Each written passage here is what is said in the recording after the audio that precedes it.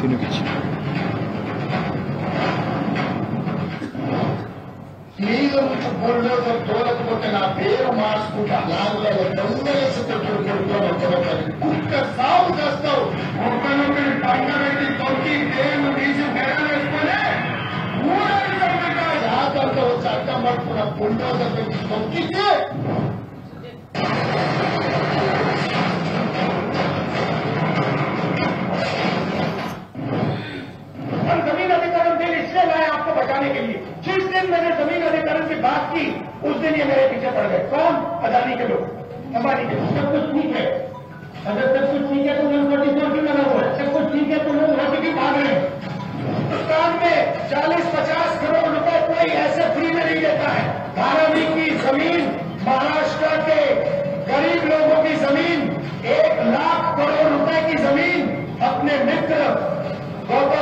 अदानी को देना चाहते थे।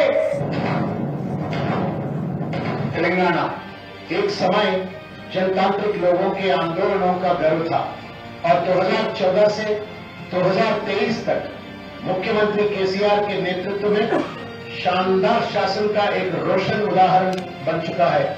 लेकिन आज इंडियन नेशनल कांग्रेस पार्टी के तोपे हुए जुल्मों के नीचे तेलंगाना का दम घुट रहा है। इस जुल्म के सफ़र का नेतृत्व श्री रेवंत रेड्डी जी कर रहे हैं।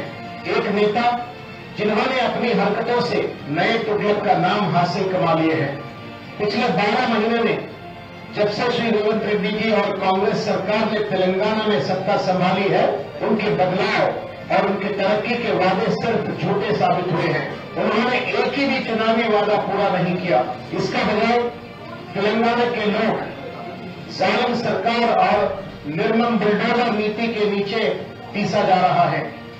आज हम तेलंगाना का लंबारा आदिवासी, दलित और ओबीसी यहाँ दिल्ली में आपके सामने खड़े हैं, ताकि जुल्म के खिलाफ हमारी आवाज़ उठा सके।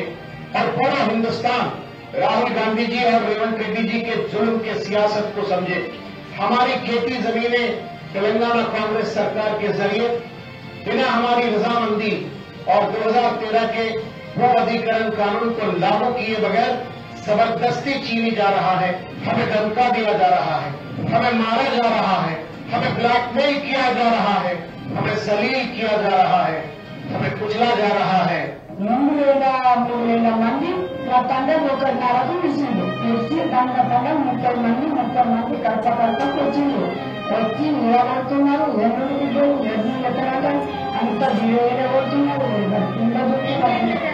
ఒక్కటేంటి ఇక మా వాళ్ళు మీరు మన బుక్ జాబ్ వచ్చామంటే జాబ్ పెడుతూ ఎవరు వచ్చినా ఏమంటాను మన పని మీరు గుండె కొట్టుకుంటారు కదా బిడ్డ ఆ, అట్లా అయినా బిడ్డ రోజు కలుసుకుంటున్నారు కలుసుకుంటూ ఆడేయాలని దొబ్బుడు ఇట్లా కొట్టుకెళ్ళేసిండు వేసిండు కాళ్ళకి దొబ్బుడు ఇట్లా కాళ్ళతోటి ధరించి కన్నారు సస్పెండ్ వస్తాం కానీ ఎక్కడ భూమి ఇయ్యం మా మంచిగా ఖరీదు తీసుకుంటే ఆయన మొక్కల మీద కలిగి కొట్టగలుగుతున్నారు ఇప్పుడు ये सब सिर्फ इसलिए किया जा रहा है ताकि एक फार्मास्यूटिकल कंपनी के लिए रास्ता साफ़ किया जा सके जो मुख्यमंत्री श्री रेवंत रेड्डी के दामाद और कुछ पूंजीपति इसके मालिक है। ये शासन नहीं है ये अत्याचार है जो लोकतंत्र के पर्दे में छुपा हुआ दमन कांड है मौजूदा तेलंगाना सरकार ने एक तरफा फैसला लेकर మంచుకున్నాడు पढ़ने ప్రవీణ్ विधानसभा మంచుకున్నాడు क्षेत्र నీకు में చెప్పమన్నాడు एक हजार కలిసిన तीन सौ నీ గురించి चौहत्तर కొద్దిసేపు एकड़ ఏడ్చిండు నేను उपजाऊ మంచుకున్నాను खेती जमीन ఏం కాదు जो చెప్పిన लड़चल्ला తొందరలో వస్తావు బయటకు అని और చెప్పి चार నువ్వు अन्य ధైర్యంగా गांवों ఉండు. के నేను लंबा కలిసిన చూసిన आदिवासी కాబట్టి చెప్తున్నా दलित और ओबीसी परिवारों की है और गुजारा के लिए इसी पर निर्भर है उसे जबरदस्ती अधीन करने की कोशिश की जा रही है ఇరవై కాంగ్రెస్ మనిషి ఇరవై నాలుగు ఇరవై ఎకరాల భూమి తీసుకుంటున్నారు మేము ఎకరాలు యాభై యాభై ఆడతారు ఏం లేదు అప్పటి మేము మిగిలిచారు అప్పటి మేము మిగిలిచారు ఏం కాలేదు दरअसल पिछली सरकार ने पहले ही करीब चौदह हजार एकड़ से अधिक जमीन एक अल्ट्रा मॉडर्न फार्मासिटी बनाने के लिए कानून के तहत अधिग्रहण की और हर प्रकार की अनुमतियां भी प्राप्त की ये किसान अपनी विरासत जमीन को बचाने के लिए पिछले नौ महीनों से लगातार विरोध कर रहे हैं और तेलंगाना के मुख्यमंत्री के बड़े भाई श्री अनुला तिरुपति रेड्डी जी ने जानकारी के आधार पर समानती माफिया तरीकों का इस्तेमाल करते हुए इन मासूमों को धमकियां दी गाली गलोच की और किसानों को बिना किसी समझौता या मुआवजा दिए बिना अपनी पट्टा जमीनों को छोड़कर चले जाने पर मजबूर किया ఏ విధమైనటువంటి వెనుకలు వేసే ప్రసక్తి లేదు అక్కడ తప్పకుండా ఇలా ఇండస్ట్రీస్ వస్తాయి ఫార్మా కంపెనీ కాదు ఇంకా రకరకాల ఇండస్ట్రీలు వస్తాయి అరెస్టులు అరెస్టులను ఖచ్చితంగా అరెస్ట్ చేయాల్సింది 11 नवंबर 2024 को सुबह 12 बजे जिला कलेक्टर प्रतीक जैन जी और अन्य अधिकारी लगाचरला गांव आए और एक फार्मा प्रोजेक्ट के लिए जमीन पर 10 लाख प्रति एकड़ की मुआवजा के साथ अधिग्रहण करने की घोषणा कर दी మీరు ఏమనుకున్నట్టు పాలన పాలన కంపెనీ మాకు అవసరం లేదు మా ఉన్న రెండు ఎకరాలు ఐదు ఎకరాలు మూడు ఎకరాలు ఉన్నోళ్ళకు ఆయాసపేటకు ప్రారంభించడానికి భూమి భూమి మీద ఫార్మ కంపెనీ లోనే రెండు వేల వచ్చేసరి బాబు బాబు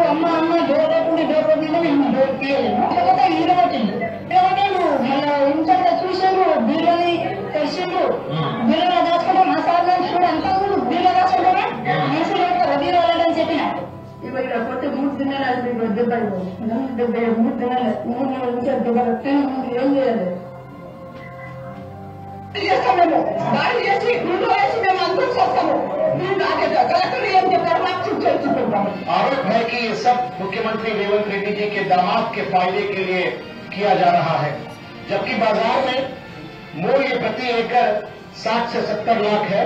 इस मुद्दे पर कलेक्टर और ऑफिशियल्स के साथ आम जनता का जज्बाती बहस हुई। और कुछ गाड़ियों को नुकसान पहुँचा, पुलिस ने फ़ौरन भीड़ को हटा दिया और शांति बनाई।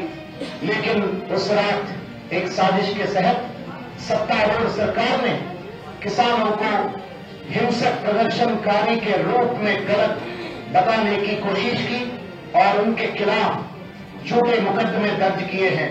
उस रात 12 बजे से सुबह 6 बजे तक पुलिस और मुख्यमंत्री के भाई श्री अनुला तिरुपति रेड्डी के साथी गुंडे हमारे गाँव में शिकारियों की तरह घुसाए और जुल्म का सिलसिला शुरू किया। पुलिस और गुंडों ने जाति के आधार पर गालियाँ दी और लोगों को जलील किया। महिलाओं को भी अपमानित किया गया और उनकी इज़्ज़त पर हाथ डाला गया। మా ఆయనకైతే దౌర్జన్యంగా ఎందుకు తీసుకెళ్తుంది సార్ ఎందుకు ఇంతగానో చేస్తుంది మా పైన?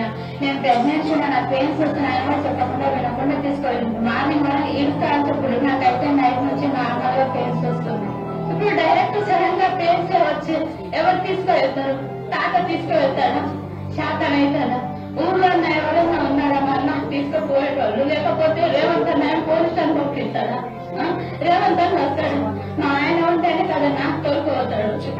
ఇప్పుడు ఎవరు లేరు మా ఇంట్లో ప్రస్తుతం నాకు ఏం చేయాలి ఏమన్నా ఆయన ఏం చచ్చిపోతే ఎవరికి ఎవరికైనా అడుగుతారు మా ఆయన ఎవరికైనా అడుగుతారా రేవంత్ రెడ్డికి వెళ్ళి అడుగుతారా పోలీసులను అడుగుతారా गर्भवती महिलाओं को भी धमकियां और मारपीट का शिकार बनाया गया उनका स्वास्थ्य खतरे में है और गंभीर भी है मर्द और औरतों को घरों से घसीट कर निकाला गया और उन्हें बेदर्दी से मारा गया बूढ़े और बच्चे डर के मारे चुप हो गए इंटरनेट सेवाएँ और बिजली बंद कर दी, ताकि एक दूसरे से किसी तरह की संपर्क ना हो सके। पूरे परिवार डर के मार अपने घरों को छोड़कर, बिना खाना, पीना, दवाइयाँ, जंगलों और खेतों में जा चुके యా పోలీసు లోకిన అన్నాడంటే పోలే కట్టుకుంటున్నాం రాత్రి అంటాలేము పగలంటాలేము అక్కడ ఆ పొలంలో కమిషన్ ఉండేది కదా ఆ స- ఆ- ఆ సలుగా బొక్క పోయి అనుకుంటున్నాం డైరెక్ట్ గా తెచ్చి మొత్తం కూడా కనిపించకుండా ఇద్దరే ఉన్న మా బాబు ఇరవై సంవత్సరంగా ఉండలేదు బాబుని తీసుకుపోయినా పిల్లలే ఉండరు हमारी चीखें सरकारी तंत्र के भारी जूतों के नीचे दबा दी गई हैं हमारी जिंदगी हमारी इज्जत और हमारी अधिकारों का कुचला गया है। ये जुल्म बेदर्दी से जारी है। कांग्रेस के वरिष्ठ नेता राहुल गांधी जी ऐसा बयान देते हैं जैसे वो आदिवासी दलित और ओबीसी के हमदर्द है। हम ज़मीन अधिकरण बिल इसलिए लाए आपको बचाने के लिए। ये सारे के सारे मीडिया वाले मेरे मेरे पर अटैक करने शुरू कर दिए उसने जिस दिन, मैं आपको बता रहा हूँ, जिस दिन मैं भट्टा परसोल पहुँचा, उस दिन से मीडिया वाले मेरे पीछे पड़ गए। जिस दिन मैंने ज़मीन अधिकरण की बात की, उस दिन ये मेरे पीछे पड़ गए। कौन? अदानी के लोग। अगर सब कुछ है तो ये प्रतिशत में लग रहा है अगर सब कुछ है तो लोग वहाँ भी भाग रहे हैं। लेकिन असल में ऐसा नहीं है। इन जुर्मों के वे ही असली जिम्मेदार है। राहुल गांधी जी देश भर में बड़ी बड़ी बयान देते हैं, मगर उनका पार्टी जिस राज्य में सत्ता में होती है, वहाँ पर संविधान को कुचला जाता है। जनता की जिंदगियों से खिलवाड़ किया जाता है। राहुल गांधी के खास दोस्त, उनके कलेजे श्री रेवंत रेड्डी जी, एक तानाशाही बनकर जो जुल्म कर रहे हैं, उससे कांग्रेस के और राहुल गांधी के असले चेहरे को बेनकाब कर दिया है। श्री रेवंत रेड्डी का तानाशाही सिर्फ़ यही नहीं, मूसी नदी सुंदरीकरण प्रोजेक्ट, जो भारत के सबसे बड़े स्कैम्स में से एक माना जा सकता है, जिसका एस्टीमेट एक लाख पचास हज़ार करोड़ है। मूसी नदी के किनारे रहने वाले हज़ारों परिवारों के सपनों के घर तोड़ दिए। जब कांग्रेस सरकार बुलडोजर नीति को अपनाते हुए तोड़फोड़ कर रहे थे, तब ये बेचारे मासूम लोग सड़क पर उतर आए। तानाशाही रेवंत रेड्डी जी हाइड्रा के नाम पर एक गुट जिला को बना के गरीब और मध्यम वर्ग के सपनों के घरों को बेरहम से तोड़ दिया है। तो तोड़ गया का बड़ा हाँ, खाना खा रहे हैं, देने नहीं क्या कैसे करना एक आठ दिन पंद्रह दिन एक महीने का टाइम दी अभी सामान लेके कल से बैठे हुए हैं। फिर कैसा करना बोलो गरीब लोग जाएँगे का। साइकिल रिक्शा चला दूँगा। उसके बाद साइकिल रिक्शा ऐसे मार देते हुए कर देते हुए तब दो दिन से खाना नहीं हम लोगों को क्या करना बोलो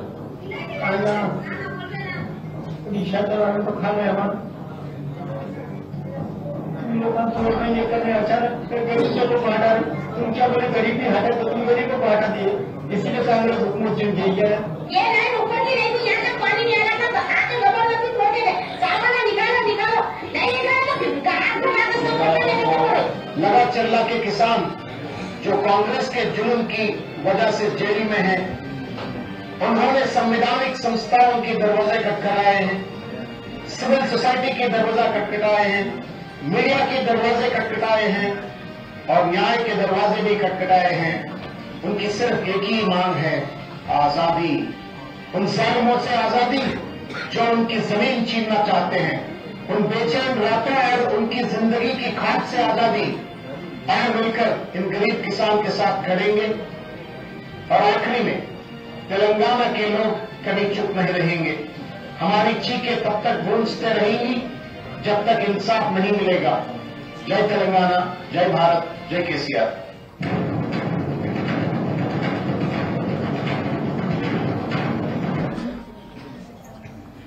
मैं